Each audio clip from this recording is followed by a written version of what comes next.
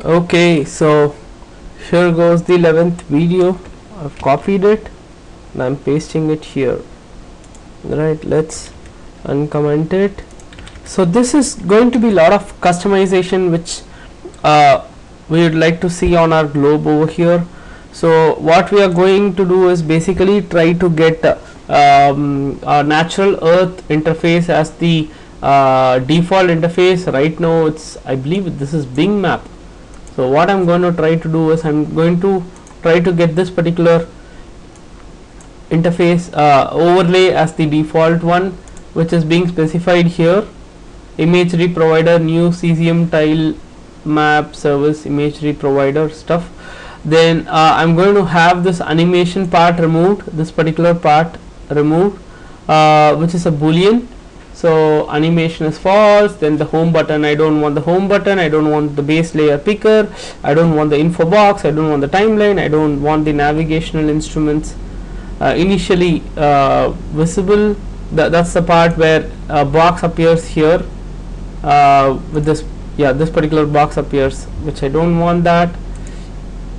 Um, then what? Then the scene mode should be Columbus view which is this 2.5D this is how I want the default view to be. In and then I want the global lighting to be enabled by default.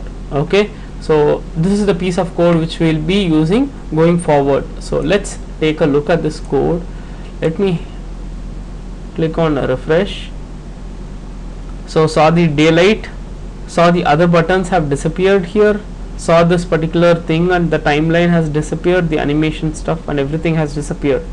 Okay so uh, that's for this particular video. Let's see if we can get the 12th video in here. Yeah sure. We, we can. So control C. So what we'll do is going forward we'll try to overwrite it. That's much more easier. This is the 12th exercise.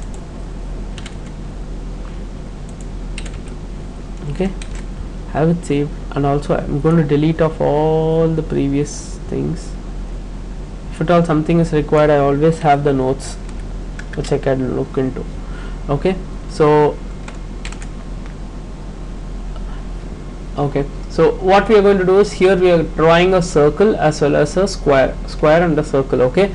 So the first instance this is the first instance okay of uh, geometry which is going to bear the rectangle. Alright? There is another instance which we are creating geometry instance that is going to bear circle geometry.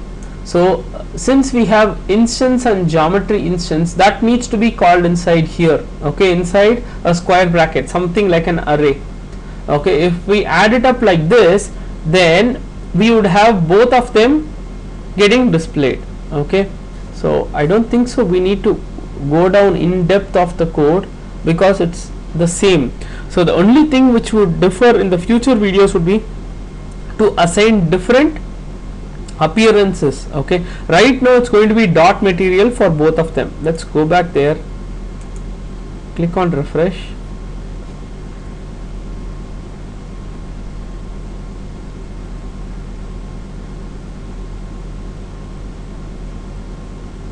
okay? Right now it's dot material for both of them. So and and probably one is at a height hovering height as well. So saw the circle is at a height of some kilometer. You see the sun down there. Funny isn't it? We always say the sun is up here. And I happen to say sun is down there. Because this seems to be up pathetic joke? Okay no problem. Uh, let's go on with uh, exercise 13 so here what we are going to do is we are going to uh, assign their own attributes. Alright? So let's copy this 13th exercise. This one would require a bit of a comparison so I'm not going to overwrite it. Rather uncomment this part uncomment this part. Super. Save it. Now if we were to go down here we see the appearance is the only thing which is going to get defined wherein both the square and the circle is getting invoked correct? But here what we do is we give one more thing of attributes okay? The attributes is what is defined inside the rectangle geometry itself so the attributes could hold uh, a color geometry instance attribute. So one could have one color uh, this is basically RGB I guess. Uh, we can go inside and have a look. Uh, it should be color geometry instance attribute.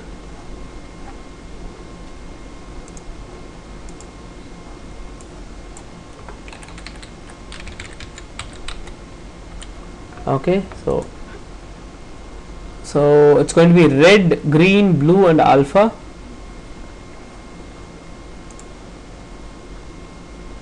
Okay color geometry instance attribute. Uh, we are defining red for square. Red blue what was the other one? Blue red green and blue. So blue would be the circle. Okay and we are calling both the instances and the appearance is going to be per instance color appearance okay? So let's go back there click on refresh. So what are we going to get?